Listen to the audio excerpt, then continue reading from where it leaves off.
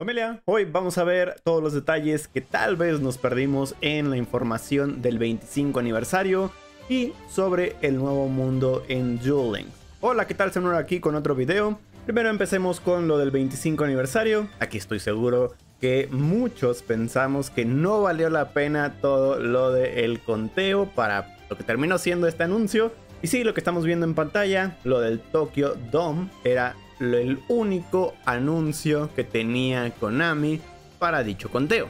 Y que en ese momento inferimos que esta información era de un torneo, ya que el escudo que se vio pues era muy parecido a lo que usan para torneos en sí.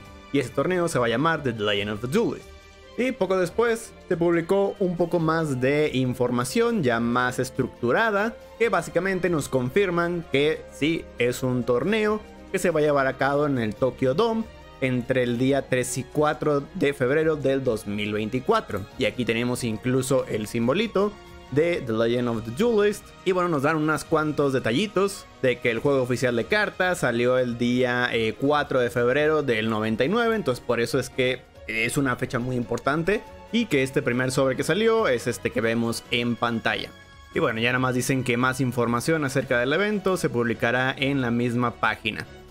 Pero en sí no agregan absolutamente nada. Lo único es que luego ponen eh, los símbolos de todos los juegos.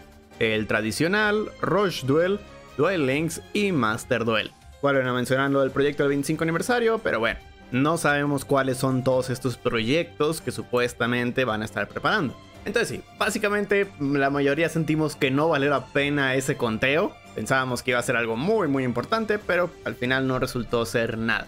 Pero bueno, lo gracioso es que luego seguí investigando un poco acerca de The Legend of Duelist para saber qué onda, qué es esto. Y pues bueno, me encontré con este Premium Pack del 99 que tiene exactamente el mismo símbolo. Nada más no tiene lo del 25 aniversario y The Legend of Duelist está curveado. Y listo. Son las únicas diferencias, pero es exactamente el mismo símbolo. Y bueno, nada más para comentarles un poco de historia. Aquí tienen toda la información en la wiki. Y que lo gracioso es que eh, este mismo pack lo dieron en un torneo precisamente. Eh, bueno, aquí está un poco rara la traducción, pero ves The Legend of the Duelist. Y que fue precisamente en el Tokyo Dome. Eso quiere decir, están recordando este evento. Lo raro de esto es que, eh, bueno, aquí más para abajo podemos ver trivia. Este pack tiene un poco de mala fama, ya que una huelga, una manifestación, se llevó a cabo después de que este se vendiera por completo, causando la hospitalización de dos personas. Entonces, básicamente no tiene buena fama. No sé por qué quisieron volver a hacer esto, tal vez es porque a, la gente le resonaba y dijo, ah, pues sí, vamos a aprovecharnos de esa mala fama, pero ya vamos a arreglar todo. Bueno, esto fue nada más un poco de historia, un poco de información extra. Al final, pues lo único que sabemos es que es un torneo, así como lo fue en el 99, y que lo más probable es que esta vez pues abarque los cuatro juegos. Digo, aún no sabemos porque pues tampoco es que el Tokyo Dome pueda tener a tantas personas. Vale, ahora nos pasamos a lo que es Duel Links, que aquí por lo menos tuvimos el anuncio del siguiente mundo. Ya tuvimos el primer teaser y ya sabemos exactamente qué es lo que nos depara el futuro. Ya sabemos que van a llegar los Rush.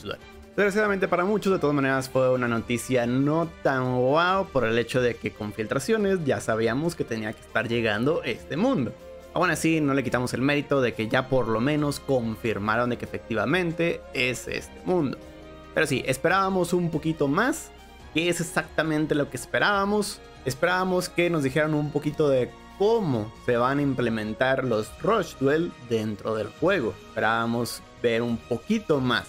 En especial porque luego apareció el productor, Akitsu Terashima. Entonces sí, muchos esperábamos que en este momento ya nos dijeran un poquito más, unos detalles extras de cómo será el juego de Rush Duel dentro de Duel Links. Si va a ser separado, si va a tener sus propias gemas, si va a tener su propia tienda, etc. Pero bueno, no fue así. Aún así tenemos un poco de información, pero muy, muy poca. Primero que nada, recordarles que el día 28 de septiembre sería el día en el que tendría que estar saliendo este nuevo mundo.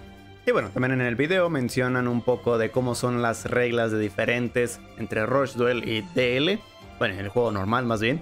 Así que eh, si quieren ver una explicación súper rápida, pues ahí pueden checarlo. Y ya para reglas más a detalles, luego les voy a subir un videíto de más detalles aún. Así que ya saben, no olviden suscribirse al canal y activar el botón de la campanita para no perderse de dicho video. También yo creo que antes que ese voy a sacar un videito con todas mis teorías de qué es lo que va a pasar con este nuevo mundo.